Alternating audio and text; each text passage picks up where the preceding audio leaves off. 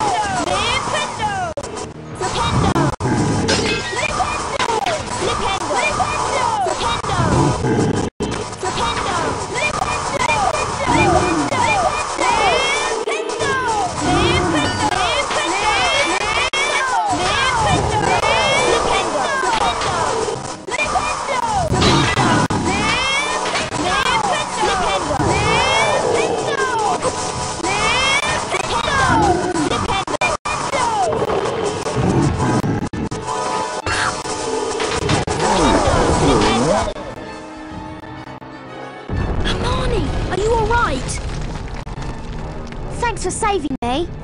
Is he dead? I think he's just been knocked out. Come on, let's get out of here.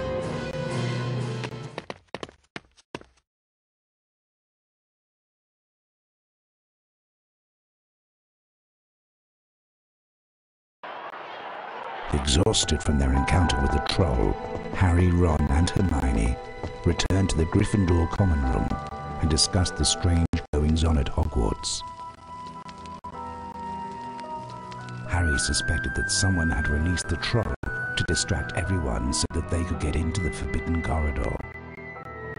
But there wasn't much time to think about who was behind this, especially since Harry was busy preparing for the second Quidditch match against Ravenclaw.